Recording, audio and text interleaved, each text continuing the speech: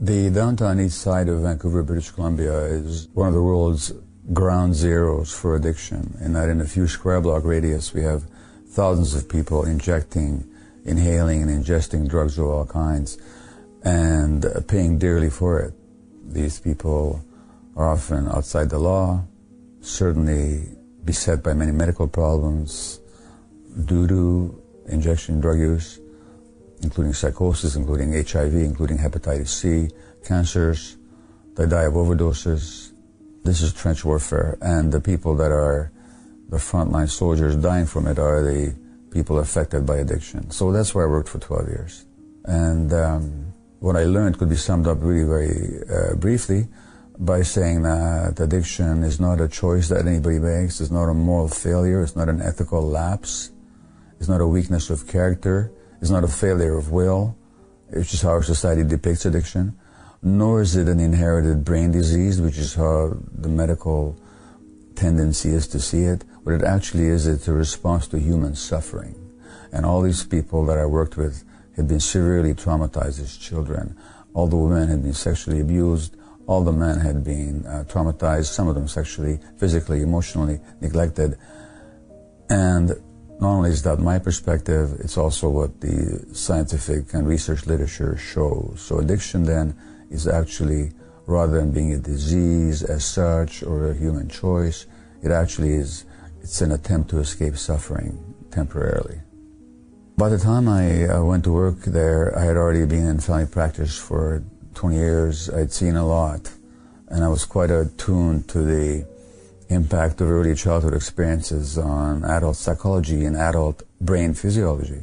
But I just hadn't seen the depth and the degree until I went to work down there. So really it dramatized and confirmed for me, made it very palpable how addictions are a response to suffering and that what people need in response to addiction is not judgment and not simply symptom control. They need to be helped to heal from their trauma because it is all about trauma. The media, the television, cultural depiction of addicts is usually as desperate people, but without showing why they're desperate. So all that shows is the desperation for the drugs. Uh, there's no indication of what's driving that desperation. And hence you see them behaving in all kinds of dysfunctional ways. Aggressive or manipulative or uh, unpleasant. But again, there's no three-dimensional sense of the reality of these people as to what that's really all about for them. Is it possible to cure people? You're speaking from the Western model, where I am the expert and you're the one with the disease, and I'm going to cure you uh, like you cure a piece of meat. You know, no. The answer to that question, framed that way, is no. It's not possible. If you're asking, is it possible for people to heal from trauma sufficiently that they don't have to keep escaping into addictions to lessen the suffering of their trauma, yes, that's entirely possible. But question is under what conditions is that possible? And under the conditions that obtain in London, UK, or Vancouver, British Columbia, or in New York, New York, or any place, under the conditions that obtain socially, legally, and from the perspective of medical practice, it's hardly a likelihood because we're approaching it from the wrong direction and with the wrong perspective.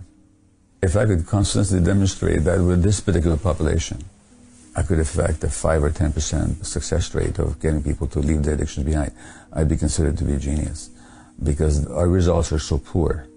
When I say ours, I don't mean ours specifically in Vancouver. I don't mean that. I mean the overall treatment model for addiction is so poor in succeeding with the most affected segments of the population. So, I mean, addictions are like everything else on a spectrum. So a lot of people do heal from addictions, but the most inveterate, most entrenched addicts, they have the hardest time. And they're also the ones whom society gives the hardest time, so that it makes it even harder to help them.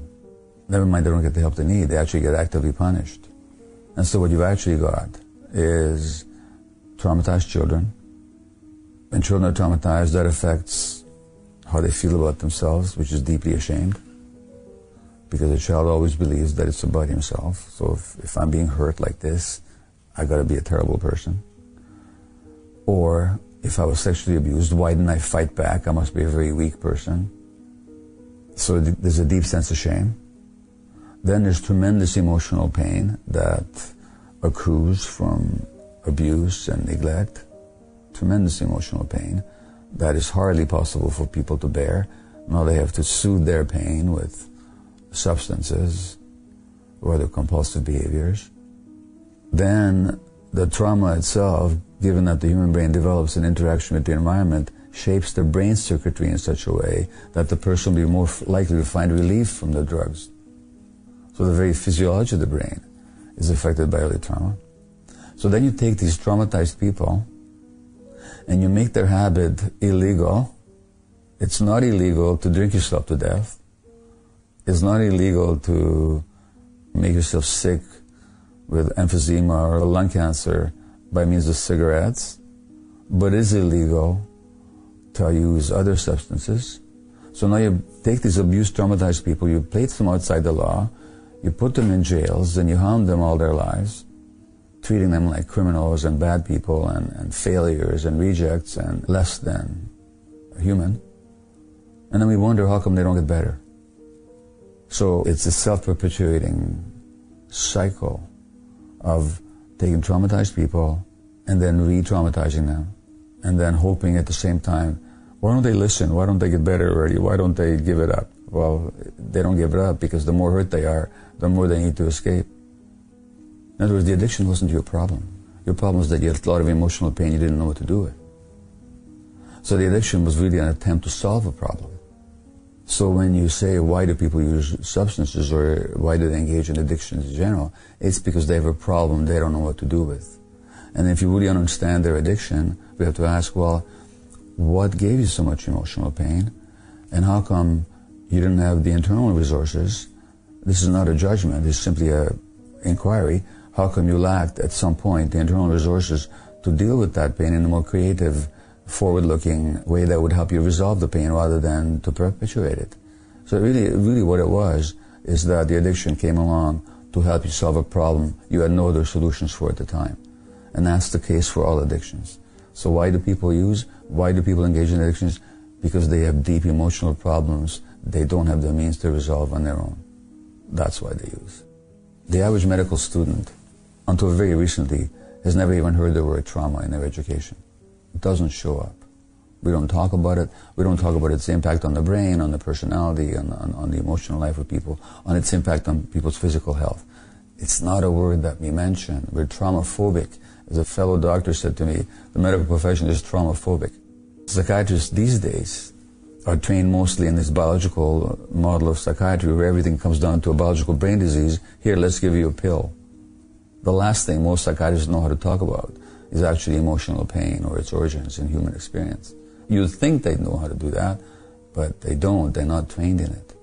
It's not part of the predominant medical ideology. And, you know, as a physician, I can tell you, we like to think of medical as a science, and it has certainly great scientific achievements uh, to its credit and great scientific insights to buttress its successes. But it's as much as ideology as a science. And ideology has certain hidden assumptions that are hidden from the people that believe in ideology. And so that if something is excluded by your ideology, you just won't see it. And so that you can be talking to somebody about your addiction and the simple question, what did they do for you? And how come you're in so much emotional pain doesn't occur to anybody, you know, trained in the classical manner. No, this is true not just for physicians, it's true for a lot of psychologists as well, who are more interested in solving your problems and getting you to overcome the behavior than in asking, well, okay, where does this behavior come from? And what are you still carrying inside that's making you behave that way? And how can we help you resolve what's inside you? Not just how do we help you change your behavior, but how do we help you change? Now that's what healing is. And that happens inside a person. So it's never a question of anybody curing anybody else, but we can guide people to healing if we ask the right questions.